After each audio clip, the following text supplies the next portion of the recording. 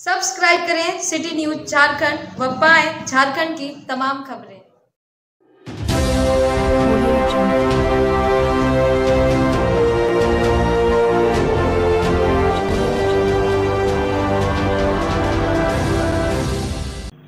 गढ़वा ज़िले के केतार प्रखंड में ठंड के पारा गिरने और पछुआ बयार शीतलहरी चलने से केतार प्रखंड के ग्रामीण परेशान है। लेकिन आज तक जिला प्रशासन की ओर से अब तक केतार प्रखंड के सातों पंचायत में अलाव की व्यवस्था नहीं की गई है।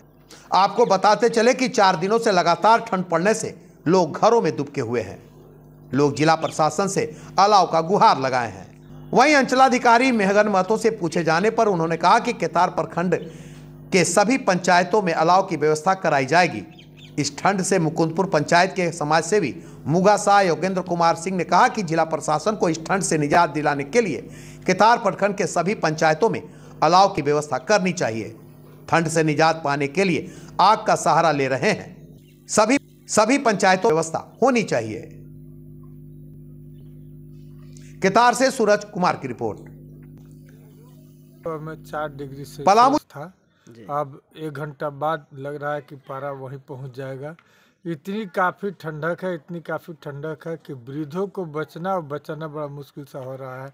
सरकार को चाहिए था कि इस स्थिति में गाँव के हर चौक चौराहे पर अलाव का व्यवस्था करा दे लकड़ी का व्यवस्था होता है जिनके पास कोई सुविधा नहीं है उनका इस समय कैसा स्थिति होता होगा? बहुत प्रॉब्लम है जिनके पास कोई सुविधा नहीं है उनके साथ अभी जीवन ठंड में मैंने बड़ा मुश्किल से जी रहा है। लोग तीन बजे ही सोच रहे हैं कि घर में बंद करके और सो जाएँ।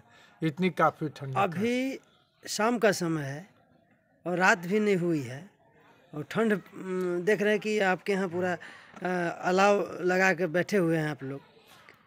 हम हम लोग भाई क्या कर रहे हैं? इतनी काफ़ी ठंडक है कि नहीं अगर व्यवस्था करेंगे नहीं बैठ के तापेंगे तो ठंडा से हम लोग जिस अवस्था में ठंडा जकड़ लेगा तो दिक्कत होगी।